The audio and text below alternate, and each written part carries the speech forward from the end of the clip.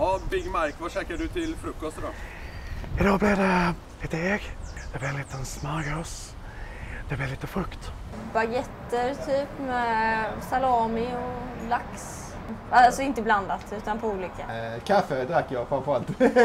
Toast, lite yoghurt, lite frukt. En salamimacka med eh, färskost och gurka och, och sen var det yoghurt, ja lök, men ingen passionsfrukt den här gången. Fyra grova brödskivor med kalkonskivor. Det är inte alltid honungsmelonen finns. Jonas, vad har du käkat till frukost idag? Ingenting. Yoghurt med müsli och korv och kokosflingor. Ja. Mm. Ostmacka.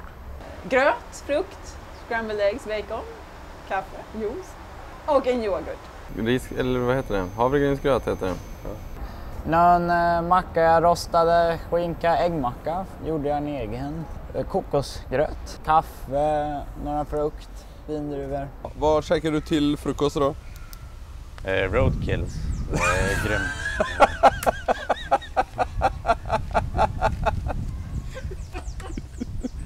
Nej, jag kommer inte klara det här Det